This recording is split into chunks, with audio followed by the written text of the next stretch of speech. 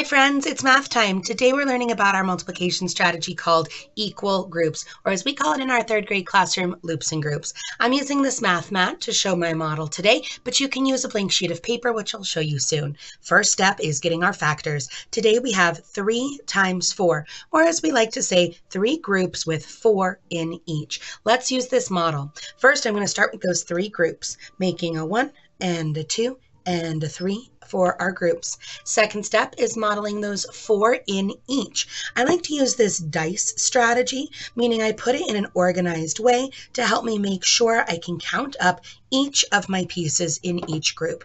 Now is the fun part, finding our total or our product. I can count these up one by one, one, two, three, four, five, six, seven, eight, 9, 10, 11, 12, or we can use one of those strategies we learned earlier with skip counting or repeated addition. I can go 1, 2, 3, 4, 5, 6, 7, 8, 9, 10, 11, 12, modeling my skip counting as I go, or one of my favorites, of course, repeated addition. 4 plus 4 plus 4. No matter which strategy I use that is best for my brain, I will still come out with my correct total or my final product, which is 12. Now, for learning purposes, I do want to explain that we can also switch our 3 times 4, meaning we could have had four loops with three groups in each, like I've modeled back here.